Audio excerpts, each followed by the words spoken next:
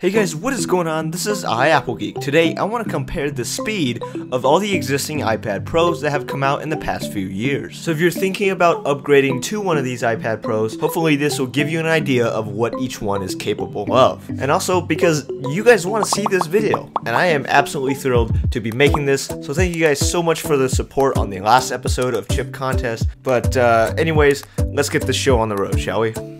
No, I can't forget, no. Forget what? When I saw you on the dance Alright, so the iPads I have today is the 9.7 inch first generation iPad Pro, followed by the 10.5 inch second gen, and the latest 11 inch third generation iPad Pro. Now, of course, each of these comes with their bigger 13 inch brother, some with an extra gigabyte of RAM, but honestly, that is just to make up for the screen size or the storage capacity. Now, aside from the outer design differences inside, each of these iPads has an X version of Apple's processors found in their iPhones. The X variations are always more powerful, more graphics intensive than their iPhone counterparts. Now the ones you see here are one generation ahead of the last one. You may notice that there is no A11X in between the A10 and the A12X. That's simply because Apple decided to completely skip it and jump to the A12, which I'm really glad that they did that and you'll see why throughout this video. Alright, so I'm going to clear out all the apps from the multitasking on each of these iPads, and then we can head to the Speed Lab.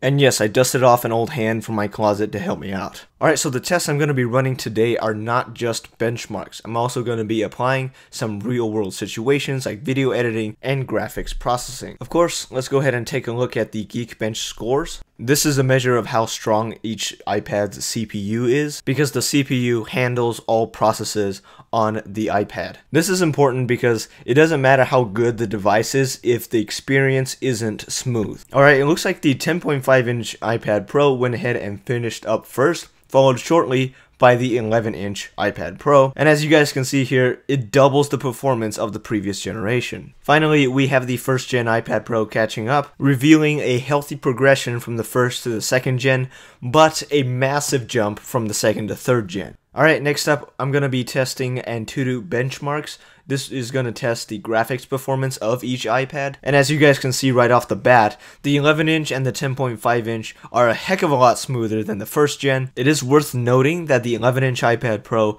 has a custom GPU made by Apple, whereas the previous iPads use ones from other companies.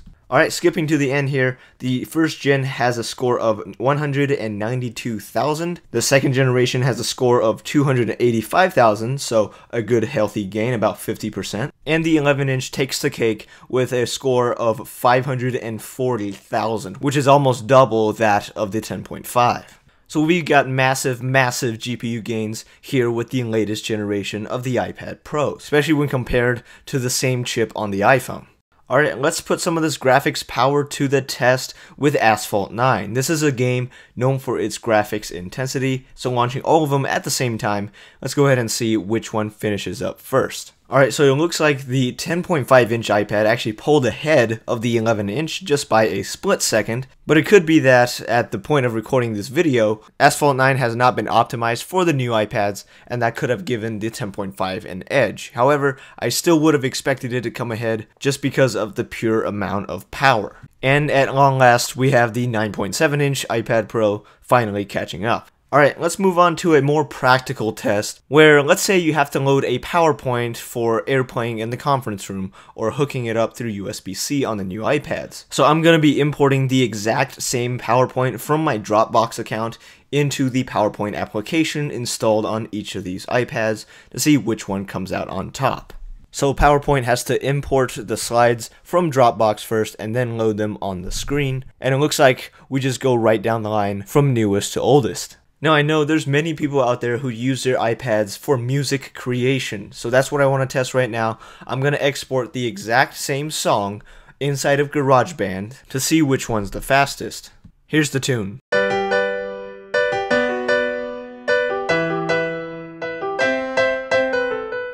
Alright, so each of these iPads are going to be exporting in the same uncompressed format. And as a side note, yes, I have sped this footage up a little bit just for time's sake in this video. And it looks like the 11 inch just barely pulls ahead of the 9.7 and 10.5 inch. So the difference is really not that much. Maybe it's because my project was so small. I'm sure with larger projects, uh, that time will get extended. Alright, so I'm going to rearrange my iPads for this next test, which is an iMovie test. I imported a few of the 4K clips from my iPhone 10R review, stitched them together with some transitions, and then slapped some music in the background. Nothing really that fancy. It's about one minute long, and I'm going to see how fast each iPad can handle this. So all of them are going to be exporting in the full 4K quality. By the way, the first iPad to ever have enough power to edit a 4K video was the original iPad Pro. So I think it's very interesting just how much Apple has progressed with these more advanced mobile processors. Because if you think about it, every second or two that one has over the other, over this one little one minute project, when you have a very long project, a fully edited video, that difference is going to be multiplied by several times. So as you see here, the second and third gen don't really have that much of a difference, and it's only really apparent under intense loads. Now the difference is a little more apparent with third-party apps, as you guys can see here. Inside of Adobe Premiere Rush, I have a 4K clip loaded into the timeline. Now for some reason, Adobe Premiere does not support 4K exports, so I'm capped at 1080p, uh, unfortunately.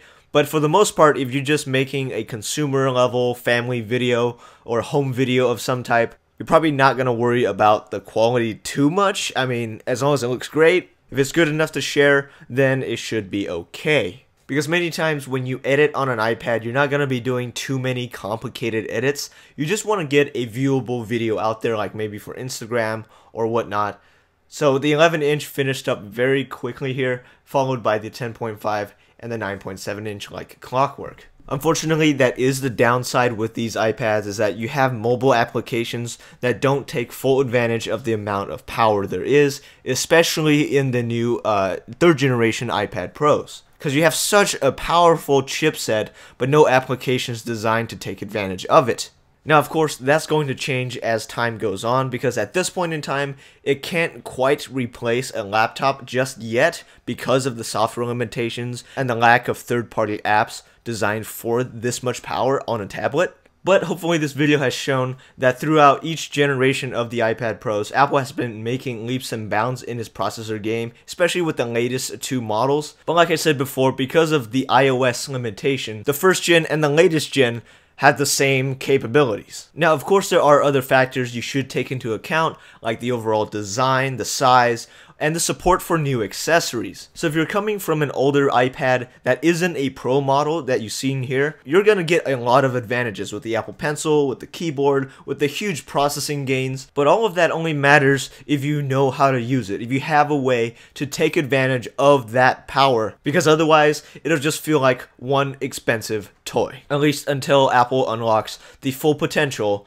of their iPad hardware. Alright you guys, if you want to see a video about how I make these videos of all these devices, uh, be sure you leave a comment down below, leave a like if you enjoyed the video, and don't forget to subscribe for more videos like this one. And if you do subscribe, I will see you in the next one.